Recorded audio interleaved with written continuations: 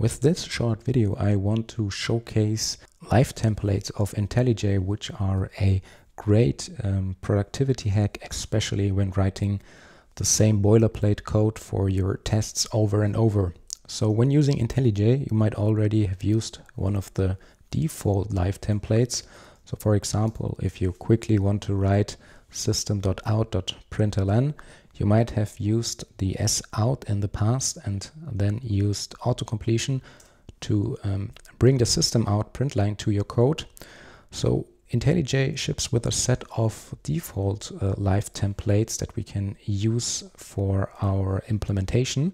You can take a look at all the default or available live templates with, at least on Mac, it's Command J, and then it pops up here a small context menu where you can take a look at all the shortcodes for your live template that you can use or that are applicable within this source file. So IntelliJ has different live templates per programming language. So this way you can define or use HTML templates only within HTML files and Java templates um, within Java files. So for example, here it is predefined for each that you can use. And the cool thing about these live templates is that we can also write uh, our own live templates and use them throughout also our team to have the same set of conventions, for example. One use case where I'm using these custom live templates quite often is within tests. So here I have opened a sample mock MVC test that tests a Spring Web REST API and whenever testing such controllers, we find ourselves writing this mock MVC uh, setup here over and over. So it's always a perform step with the URL and the HTTP method and then some expectations. And this involves also some static imports. So while writing this over and over for multiple tests from scratch, it all adds up some seconds that you additionally need to also import the correct classes um, after IntelliJ suggests the possible imports and to now improve our productivity here when testing our Java applications and uh, writing reoccurring code skeletons, we can use a IntelliJ live template. So here I've prepared a sample mock MVC live template so I've created a mock MVC post and a mock MVC get. And this will bring me the boilerplate code I need for now performing a post HTTP request against my mock servlet environment. And the only thing left is to enter here the endpoint I want to test. It already comes with an opinionated content type and here a multi-line Java string so that I can now enter the um, body of my HTTP request and I have the basic setup ready to now continue from here.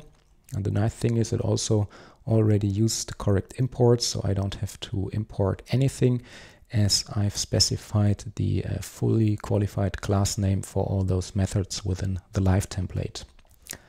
Let's take a look uh, where we can configure these live templates.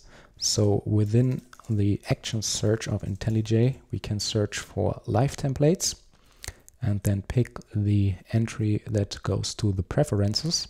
And within the preferences, you will then be redirected to live templates. It's inside the editor section and then at the bottom live templates. And then you will see all the live templates for the various programming language that are part of IntelliJ. And if we scroll down to Java, it's a little bit hard to see here because I'm in presentation mode, but nevertheless, you will see now all the live templates that are part either by default or added by you to IntelliJ.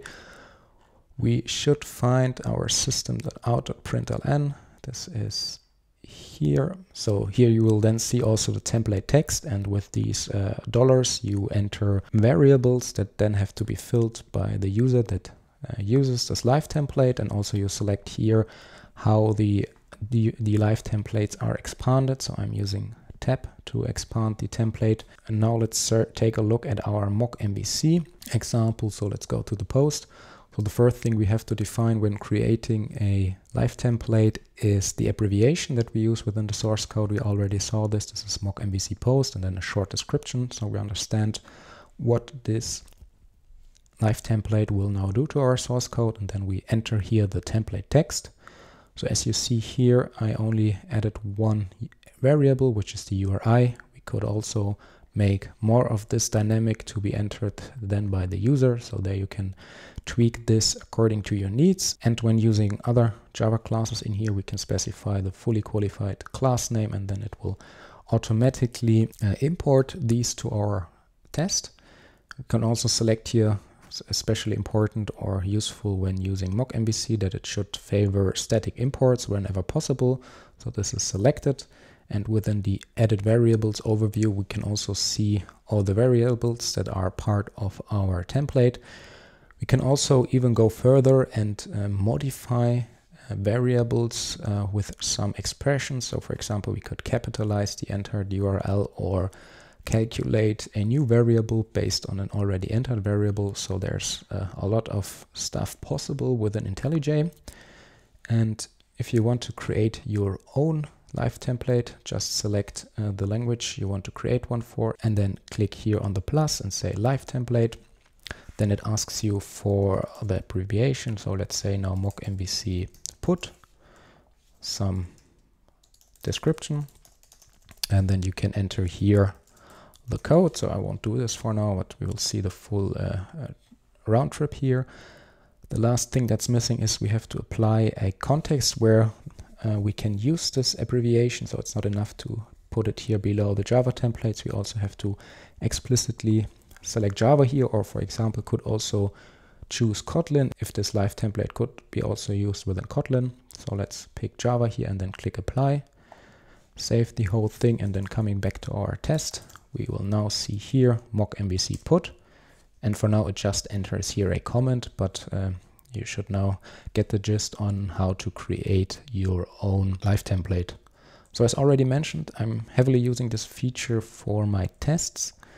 One example here is, for example, I have a live template that prepares a arrange act assert structure for my test that I'm about to write. So the only thing left is here to add the test name and then I'm ready to test something or as a different example, a normal JUnit 5 test with AssertJ, so without the arrange act assert structure here same in blue. And this way I outsourced a lot of the boilerplate stuff that I'm using over and over.